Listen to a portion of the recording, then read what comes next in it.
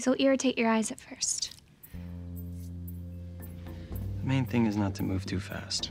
Try taking a seat, crossing your legs.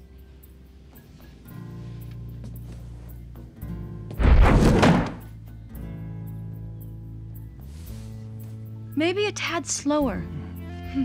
And blink at least three times a minute. Good. For a cartoon character. Hold your breath. It'll help with the thirst. Just don't forget to move your shoulders so it looks like you're breathing. And don't sit so straight. Humans don't do that. Okay, I got it. Move around, blink, slouch.